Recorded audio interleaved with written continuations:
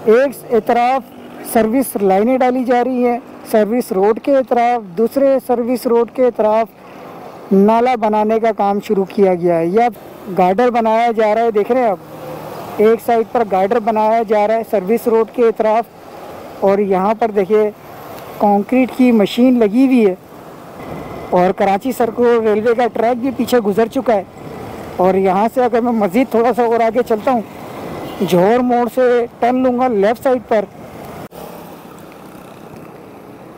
असलकुम जी, इस वक्त मैं गुलस्तान जौहर चौरंगी फ्लाईओवर के ऊपर मौजूद हूँ और यहाँ से मैं आज आप तमाम दोस्तों के साथ कुछ अपडेट्स यहाँ की शेयर करूँगा। बहुत सारे लोग कमेंट कर रहे थे कि गुलस्तान जौहर चौरंगी का जो अंडरपास है, वो तो तैयार हो गया, लेकिन यहाँ जो रहने वालों है, रहने वाले लोग हैं, उनका बड़ा जी रहना मुश्किल हो चुका है, क्योंकि वो लोग जो यूनिवर्सिटी रोड से पहलवान गोड जाने चाहते हैं या एयरपोर्ट जाना चाहते हैं, जौहर मोड़ से आप कामरान चौरंगी जाना चाहते हैं या मुनवर चौरंगी, इन लोगों के लिए तो काफ़ी ज़्यादा आसान हो गया है, लेकिन जो लोग यूनिवर्सिटी रोड हो या कामरान चौरंगी हो, वहाँ से गुलस्तान जौहर चौरंगी की आबादी के अंदर जो जाना चाहते हैं, उनका इस वक्त एक तरीके का जीना जो है वो बदतर हो चुका है, क्योंकि यहाँ पर अंडरपास के ऊपर फ्लाईओवर के नीचे तमाम इस वक्त तामीराती काम चल रहे हैं, जिसके बायस यहाँ से गुज़रना जो है वो बड़ा मुश्किल है। एक तरफ़ सर्विस लाइनें डाली जा रही हैं, सर्विस रोड के तरफ़ दूसरे सर्विस रोड के तरफ़ नाला बनाने का काम शुरू किया गया है। ये आप सामने देख सकते हैं, ये नाला बनाया जा रहा है। इस नाले को यहाँ लाकर एंड कर दिया गया था। यहाँ से मज़ीद काम जो है वो अब शुरू किया गया है।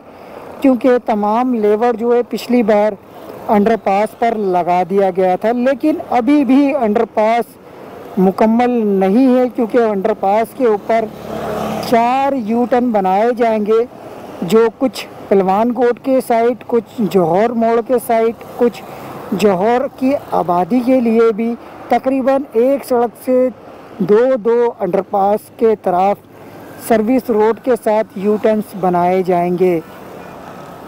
बहरहाल, यहाँ पर मुकम्मल अभी नाले वगैरह का काम किया जा रहा है, जबकि दूसरे तरफ़ अगर यहाँ से बात करूँ तो इस वाली सड़क से मैं थोड़ा सीधा लेकर चलता हूँ आप लोगों को आगे की तरफ़। और वहाँ पर जो इस वक्त तामीराती काम चल रहे हैं, वो मैं शेयर करता हूँ।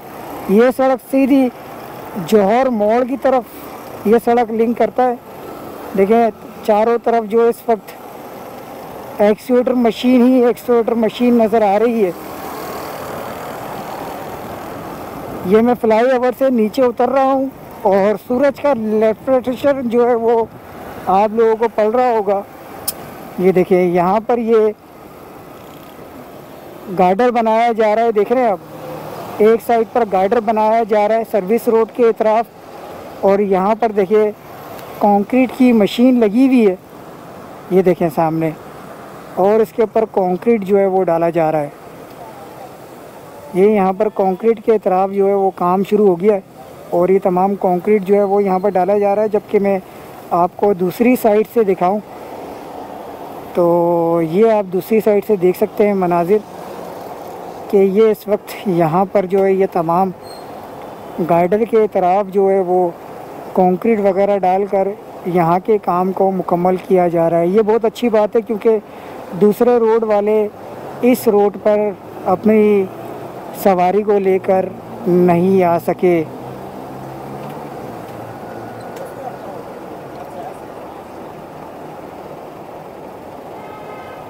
बहरहाल, मैं मज़ीद आप लोगों को आगे लेके चलता हूँ और आगे से तमाम मनाजिर जो है वो भी शेयर करता हूँ कि कहाँ तक ये गार्डर बनाने का काम किया जा रहा है।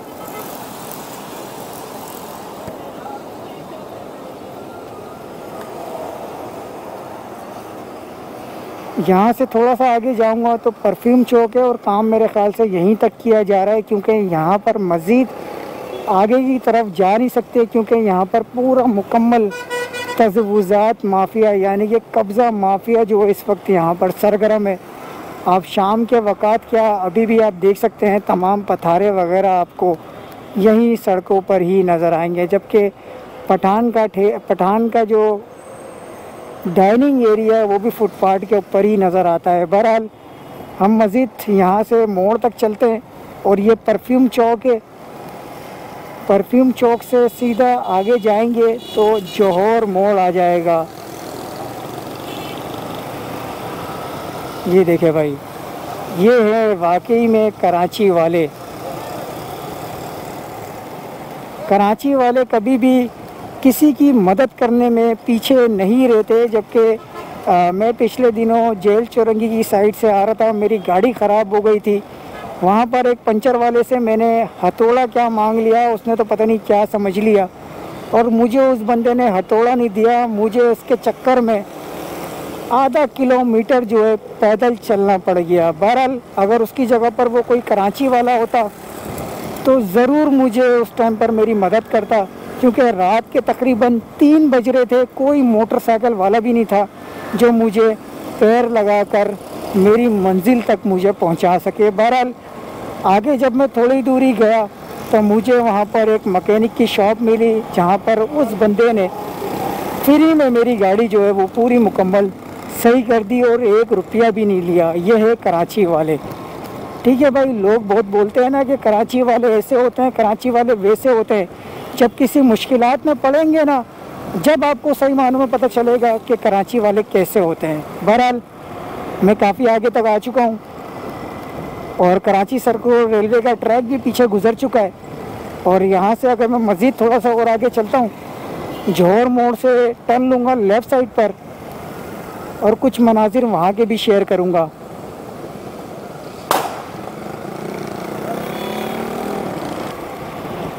भैया, ये सामने ही जौहर मोड़ का फ्लाई ओवर है।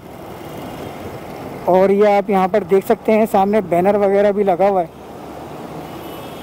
कहाँ कहाँ से आप सड़क के ज़रिए गुज़र सकते हैं, जबकि इस फ्लाई ओवर के नीचे मुकम्मल टैम्पलेट का काम किया गया है। तमाम एडवर्टाइजमेंट इसके नीचे हुई भी है, जबकि यहाँ से थोड़ा सा आगे की तरफ़ जाते हैं तो एक मिनीनियम फ्लाई ओवर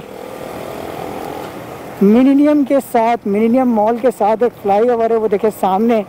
इस फ्लाई के नीचे काफ़ी खूबसूरत जो है वो कलर किया हुआ है, रंग बिरंगी कलर से। तो भाई एडवर्टाइजमेंट जो है वो कराची के जितने भी फ्लाई ओवर है, उसकी खूबसूरती को ख़राब करते हैं ख़ास तौर पर वहाँ पर जहाँ पर कलर वगैरह किया गया होता है।